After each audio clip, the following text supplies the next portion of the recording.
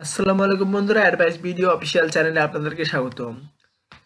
এই চ্যানেলে চাকরি সম্পর্কে বিভিন্ন ধরনের তথ্য দেওয়া হয়ে থাকে তাই অবশ্যই চাকরি, যারা চাকরি করতে চান, তারা অবশ্যই চ্যানেলটি সাবস্ক্রাইব করবেন এবং চাকরির বিভিন্ন তথ্য পেতে সাবস্ক্রাইব করে পাশে থাকবেন লাইক করবেন কমেন্টে মতামত জানাবেন এবং বন্ধুদের সাথে শেয়ার করবেন। এখন আপনাদের সামনে একটি ভিডিও তৈরি করছি, সেটা হলো জাতীয় সংসদ সম্পর্কে বিশেষ সহ সকল চাকরি পরীক্ষায় যেসব প্রশ্নগুলো আসে সে সকল প্রশ্নগুলো এবং প্রশ্নের উত্তরগুলো আপনাদের সাথে শেয়ার করছি। জাতীয় সংসদ। জাতীয় সংসদ গণপ্রজাতন্ত্রী বাংলাদেশের সর্বোচ্চ আইনসভা।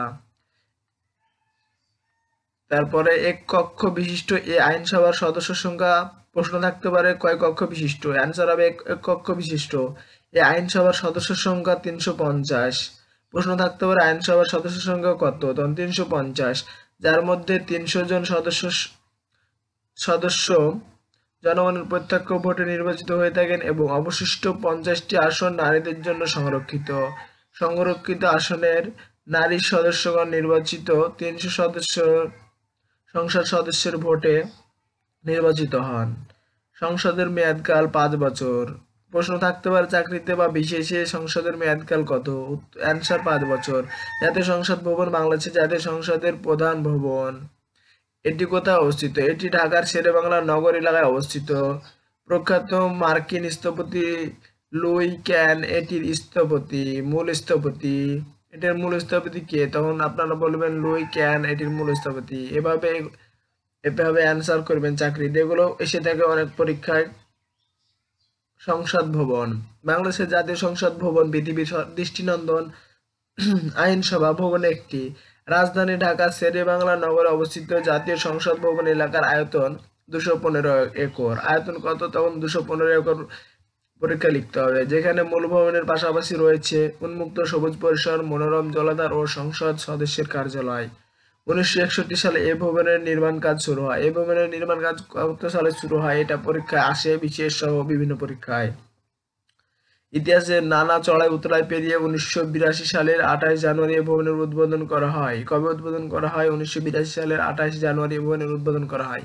দৃষ্টিনন্দন এ ভবনের নকশা করেছেন যুক্তরাষ্ট্রের প্রখ্যাত স্থপতি লুই আইক্যান। সংসদ ভবন এর কাকে প্রধান ভবন? দক্ষিণ প্লাজা ও প্রেসিডেন্সিয়াল প্লাজায় তিন অংশে ভাগ করা হয়েছে। অবস্থান ঢাকার শেরেবাংলা অবস্থানে অবস্থিত জাতীয় সংসদ কমপ্লেক্সকে ঘিরে রয়েছে চারটি প্রধান সড়ক। উত্তর দিকে লেক রোড, পূর্ব দিকে রোকেয়া সারণী, এগুলো আসতে পারে, আসে। দক্ষিণ দিকে মানিক মিয়া এভিনিউ এবং পশ্চিম দিকে মিরপুর রোড। বলা থাকতে পারে, সংসদের পশ্চিম দিকে কোন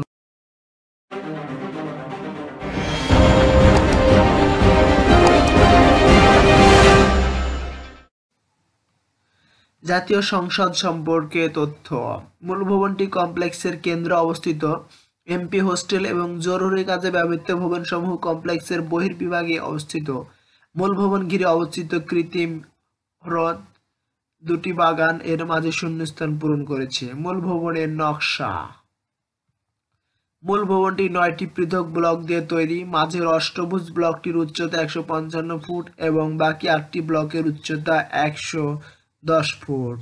সাধারণ তথ্য, ধরন, জাতীয় সংসদ ভবন, স্থাপত্য রীতি, আধুনিক স্মৃতিস্তম্ভ, অবস্থান, ঢাকা, বাংলাদেশ। নির্মাণ কাজ শুরু উনিশশো একষট্টি, সম্পূর্ণ হয়েছে উনিশশো বিরাশি, ব্যয় হয়েছে বত্রিশ মিলিয়ন ইউএস ডলার।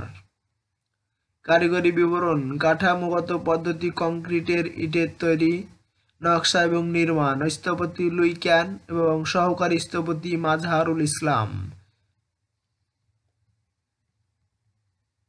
সংসদ সদস্য জনপ্রতিনিধি হিসেবে পার্লামেন্ট বা জাতীয় সংসদে সরকার কিংবা বিরোধী দলের সদস্য হিসেবে অংশগ্রহণ করে থাকেন।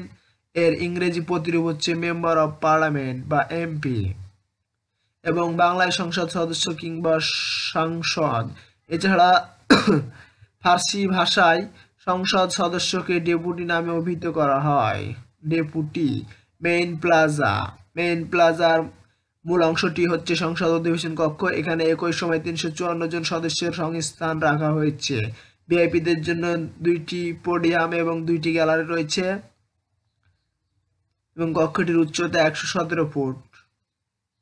ছাদটি স্বচ্ছভাবে তৈরি করা হয়েছে যাতে দিনের আলো এতে প্রবেশ করতে পারে। সূর্যের আলো চারিদিকে ঘেরা দেওয়াল ও অষ্টভুজ ড্রামে প্রতিফলিত হয়ে অধিবেশন কক্ষে প্রবেশ করে।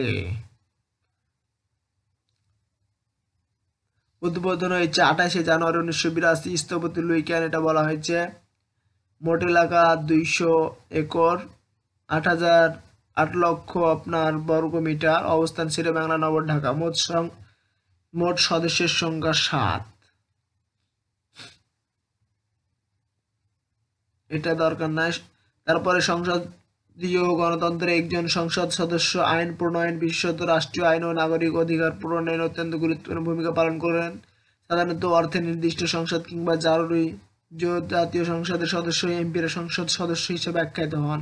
বিশ্বের বিভিন্ন গণতান্ত্রিক রাষ্ট্রের দ্বি-স্তর বিশিষ্ট সংসদীয় গণতন্ত্র রয়েছে। সেগুলো হচ্ছে উচ্চ কক্ষ এবং নিম্ন কক্ষ। সেক্ষেত্রে জনপ্রতিনিধি হিসাবে সংসদ সদস্য পদটি নিম্ন কক্ষের জন্য প্রযোজ্য। সচরাচর প্রতিনিধি হিসাবে সংসদ সদস্য পদটি উচ্চ কক্ষে ভিন্ন পদে উপস্থাপন চিহ্নিত করা হয়। উচ্চ কক্ষ হিসাবে সিনেটের সদস্য তখন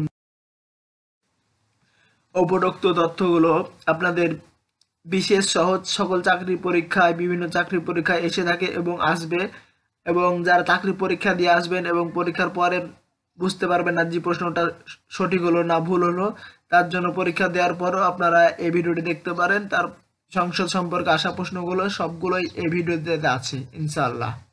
অবশ্যই ভিডিওটি ভালো লাগলে কমেন্টে মতামত জানাবেন এবং কি ধরনের ভিডিও চান অবশ্যই কমেন্টে জানাবেন, তাহলে সেই ধরনের ভিডিও তৈরি করবেন ইনশাল্লাহ আর অবশ্যই চ্যানেলটি সাবস্ক্রাইব করে পাশে থাকবেন এবং বন্ধুদের সাথে ভিডিওটি শেয়ার করবেন।